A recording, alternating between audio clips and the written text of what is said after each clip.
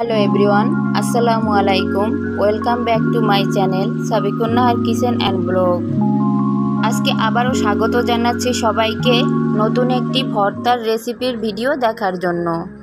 আমার আজকের আয়োজন হলো চিংড়ি মাছের ভিন্নধর্মী একটা ভর্তার আইটেম।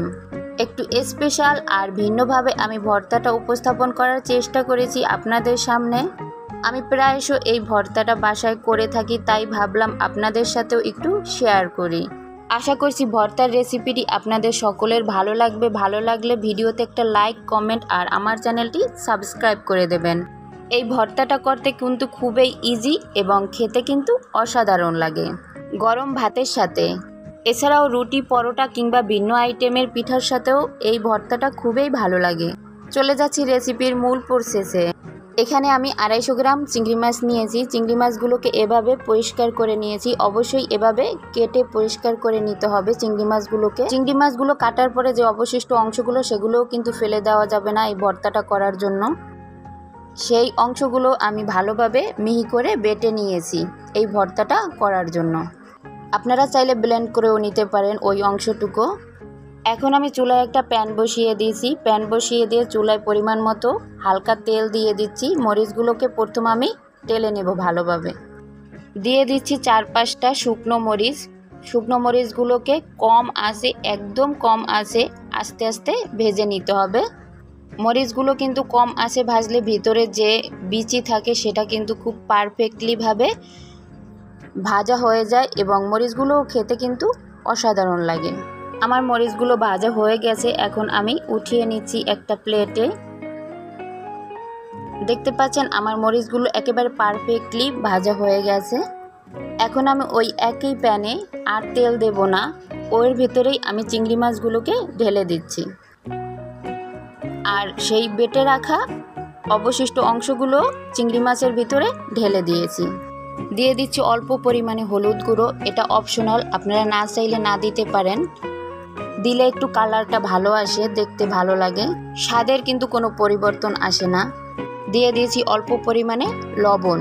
এখন মাছগুলোকে আমি ভালোভাবে উল্টে পাল্টে এভাবেই তেলগুলোর ভিতরে হালকা ভেজে নিয়ে অল্প পরিমাণে পানি অ্যাড করে দেব। যেন মাছগুলো থেকে কাঁচা স্মেলটা চলে যায়।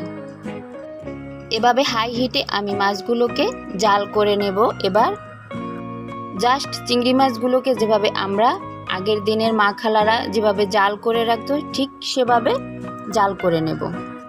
আগের দিনে যেহেতু ফ্রিজ ছিল না, এভাবেই জাল করে রাখা হতো চিংড়ি মাছগুলোকে।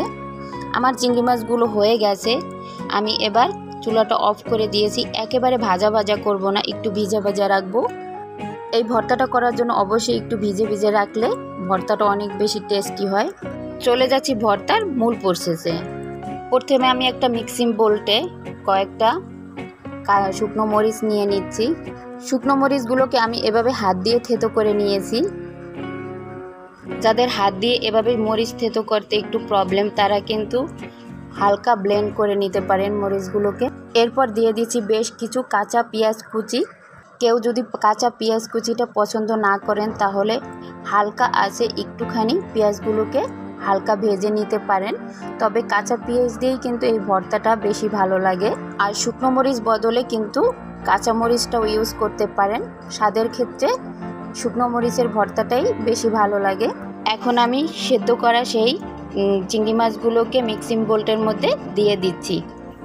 দিয়ে পেঁয়াজ মরিচের সাথে ভালোভাবে নেড়ে চেড়ে নিতে হবে। দিয়ে দিচ্ছি দুই টেবিল চামচের মতো সরিষার তেল, কাঁচা সরিষার তেল। সরিষার তেলটা কিন্তু এই ভর্তায় স্কিপ করা যাবে না। দিয়ে দিচ্ছি বেশ কিছু ফ্রেশ ধনিয়া পাতা। ধনিয়া পাতাটা অপশনাল, কেউ না চাইলে নাও দিতে পারেন। এখন দিয়ে দিচ্ছি এক চা চামচের মতো লেবুর রস। লেবুর রসটাও অপশনাল, আপনারা না চাইলে নাও দিতে পারেন। তবে আমার কাছে মনে হয় লেবুর রসটা দিলে ভর্তাটার স্মেলটা আরও বেশি ভালো লাগে আর খেতেও অসাধারণ লাগে। রেডি হয়ে গেছে খুবই সিম্পল একটি চিংড়ি মাছের ভর্তার রেসিপি। এটা কিন্তু খুব সহজেই আপনারা বাসায় তৈরি করে নিতে পারেন। খুবই সিম্পল আর খুবই ইজি। কিন্তু খেতে কিন্তু জাস্ট অনবদ্য লাগে। সেই অবশ্যই একবার হলেও বাসায় ট্রাই করে দেখবেন। আমার রেসিপিটি ফলো করে।